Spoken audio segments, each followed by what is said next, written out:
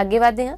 ਪੰਜਾਬ ਦੇ ਵਿੱਤ ਮੰਤਰੀ ਮਨਪ੍ਰੀਤ ਸਿੰਘ ਬਾਦਲ ਦਾ ਕਹਿਣਾ ਹੈ ਕਿ ਕਾਂਗਰਸ ਸਰਕਾਰ ਨੇ ਬਠਿੰਡਾ ਰਿਫਾਈਨਰੀ ਤੇ ਪੀਸੀਆਣਾ ਹਵਾਈ ਅੱਡੇ ਵਿੱਚ ਕੰਮ ਕਰਨ ਵਾਲੇ ਟਰਾਂਸਪੋਰਟਰਾਂ ਤੋਂ ਗੁੰਡਾ ਟੈਕਸ ਵਸੂਲਣ ਦੇ ਮਾਮਲੇ ਦਾ ਨੋਟਿਸ ਲੈਂਦੇ ਹੋਏ ਹਮੇਸ਼ਾ ਦੇ ਲਈ ਹੀ ਗੁੰਡਾ ਟੈਕਸ ਨੂੰ ਬੰਦ ਕਰ ਦਿੱਤਾ ਹੈ। ਉਹਨੇ ਕਿਹਾ ਕਿ ਸਰਕਾਰ ਸੂਬੇ ਵਿੱਚ 40 ਰੋਜ਼ਗਾਰ ਮੇਲੇ ਲਾ ਕੇ ਸੂਬੇ ਦੇ ਲੱਖਾਂ ਨੌਜਵਾਨਾਂ ਨੂੰ 5 ਸਾਲਾਂ ਵਿੱਚ ਨੌਕਰੀ ਵੀ ਦੇਵੇਗੀ।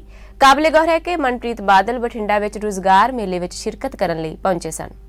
ਇਹ ਮੇਲਾ 8 ਮਾਰਚ ਤੱਕ ਚੱਲੇਗਾ।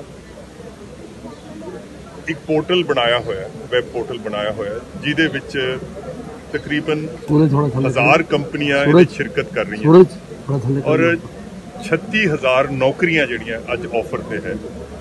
ਔਰ ਤਕਰੀਬਨ 70000 ਬੱਚੇ ਨੇ ਇਹ ਐਪਲੀਕੇਸ਼ਨ ਭਰੀ ਹੋਈ ਹੈ।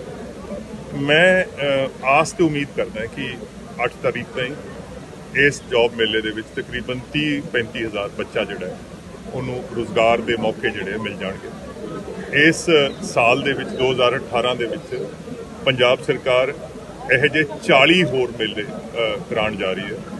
ਉਹਨਾਂ ਮੇਲਿਆਂ ਦੀ ਜਿਹੜੀ ਟੈਨਿਓਰ ਹੈ, ਉਹ ਇੱਕ ਦਿਨ ਤੋਂ ਲੈ ਕੇ ਤਿੰਨ ਦਿਨ ਤੱਕ ਹੋਏਗੀ।